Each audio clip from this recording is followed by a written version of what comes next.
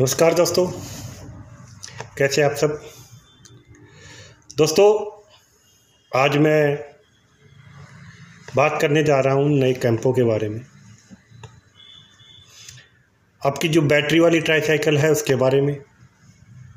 कुछ छोटे छोटे पॉइंट्स हैं जिससे हमारी जो बैटरी के और जो हमारी जो ट्राईसाइकिल है, वो तीन या चार साल तक आराम से चल सके।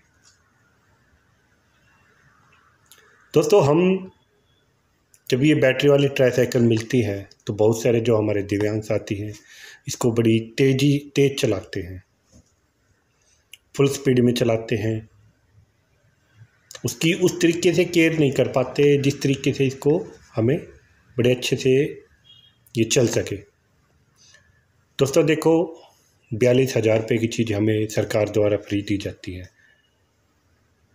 वो भले ही टैक्स के द्वारा हमारे पैसों की क्यों ना हो, लेकिन फिर भी वो हमें ही मिल रही है। और दूसरी बात, फ्री में मिलती है। वो हमारे एक तरह से पैर होते हैं।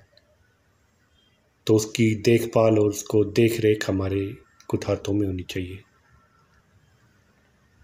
तो दोस्तों, उसको उसको बड़े ध्यान से रखो। आज उसी के ताकि उसकी लाइफ लंबी हो। उसके बारे में मैं छोटे छोटे कुछ पॉइंट्स हैं वो मैं आपको बता रहा हूँ। कई दोस्तों को जैसे बैटरी ख़राब हो जाती है, वो क्यों होती है? बहुत से हमारे दोस्त हैं कि भाई, हमारी बैटरी ख़राब होगी। कुछ होता है टेक्निकल रीजन और कुछ हमारी थोड़ी केयर की वजह से भी ऐसा हो जाता है। जी हाँ दोस्तों, जैसे हम बैटरी में लगा देते हैं चार्जर इन्वर्टर वाले में। अगर इन्वर्टर में हमने चार्जर लगा दिया तो इन्वर्टर की जो लाइट होती है वो तेज़ होती है और उससे हमारे जो चार्जर में और बैटरी में भी काफ़ी इफ़ेक्ट पड़ता है। हमें इसे हमेशा नॉर्मल लाइट में लगानी चाहिए, इन्वर्टर वाली उसमें नहीं लगानी चाहिए। दूसरी बात, हम इसे बड़ी स्पीड से चलाते हैं। जब हम कोई काम बड़ी स्पीड से करते हैं तो वो चलती तो है, कुछ टाइम चलेगी, लेकिन फिर वो धीरे धीरे धीरे धीरे ख़राब होने की कगार पे चली जाती है। अगर आप उसको नॉर्मल स्पीड में अच्छे से कंटिन्यू चलाओगे तो मैं गारंटी देता हूँ, वो तीन से चार साल आपकी आराम से निकाल देगी। और पाँच साल का इसका जो वो होता है, मियाद होती है कि हर पाँच साल में आप इसको ले सकते हैं। तीसरी होती है हमारी इसकी साफ़ सफ़ाई। अगर हम उसको साफ़ सफ़ाई अच्छे से करें और बड़ी ध्यान से चलाएँ तो दोस्तों वो काफ़ी अच्छी बैटरी बैकअप भी देगी और अच्छा चलेगी भी, और एक लंबे समय तक भी चलेगी। दोस्तों, हमारी चीज़ हमें बड़े ध्यान से रखना चाहिए।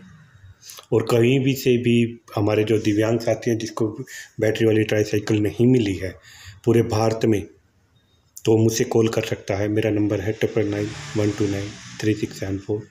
और वो घर बैठे ही बैटरी वाली ट्राईसाइकिल ले सकता है। बस कंडीशन ये है कि उसको अस्सी परसेंट उसका मेडिकल हो, हाथ पैर, हाथों से बिल्कुल ओके हो, ऊपर से जैसे तागड़ी से नीचे नीचे वो भले ही ख़राब हो, यानी पैर उसके भले ही काम ना करते हो। अब बात करता हूँ कैंपों की। दोस्तों, अब मैं पानीपत में कैंप स्टार्ट करने जा रहा हूँ, जिस भी दिव्यांग साथियों को जो अभी तक किसी सामान से वंचित है, कोई बुज़ुर्ग है, वे अपने सामान वे किसी सामान से वंचित है, जैसे कि उनको जो साठ साल साठ साल से ऊपर है, घुटने में दर्द है, घुटने की बेल्ट।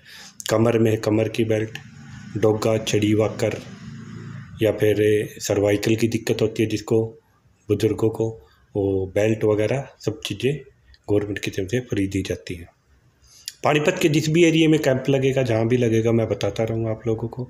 अगर कोई भी दिव्यांग साथी अगर किसी चीज़ की इच्छुक है या फिर जिन्होंने अभी तक कुछ नहीं मिला है तो वो वो पानीपत में मुझसे कांटेक्ट करे, सामान ले सकता है। और दोस्तों, अगर भारत में किसी को भी दिव्यांग साथियों को अगर किसी की बैटरी वाली ट्राईसाइकिल का सामान ख़राब हो गया तो वो मुझसे ले सकता है। कोरियर का खर्चा जो उनका खुद का होगा और जो भी उसका प्राइज होगा वो कंपनी के द्वारा डिसाइड किया गया होगा। तो चलिए दोस्तों, आगे मैं फिर किसी वीडियो में आपको छोटी छोटी जानकारी देता रहूँगा। और हाँ दोस्तों, गोहाना में एक नेशनल लेवल का एक कैंप लग रहा है, जो कि कृत्रिम अंग, जिस भाई बहन को, बुज़ुर्गों को अपने आर्टिफिशियल पैर लगवाना है, हाथ लगवाना है, या कैलिपर लगवाने हैं, अपने जूते वो करवाने हैं तो वो गोहाना में नौ तारीख को सेक्टर शायद सात में है कोई कम्युनिस्ट सेंटर है, वहाँ पे ये